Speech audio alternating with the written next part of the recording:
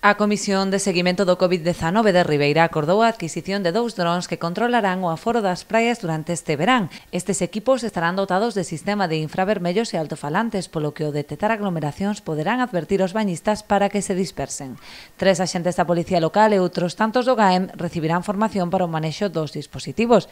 Ademais, o control das praias, os drons utilizaranse para a vixilancia dos montes ante posibles incendios ou na busca de persoas desaparecidas. Por parte da Policía Local, como como polo GAIN se facía costar a necesidade de contar con drones, drones que poden servir para múltiples labores que levan altavoz, que levan infrarrojos e que polo tanto poden servir tanto para a búsqueda de personas como para lanzar mensaxes, como para controlar aforos de playa, como para controlar incendios, etc. etc. E o que acordamos foi a formación de tres axentes e tres, persona, tres persoas do GAIN para poder eh, eh, controlar estes aparellos e por outra parte tamén eh, o, o, o que é non só a compra eh, senón, como antes decía a disponibilidade por parte de, de todos eles de, destes dous novos elementos.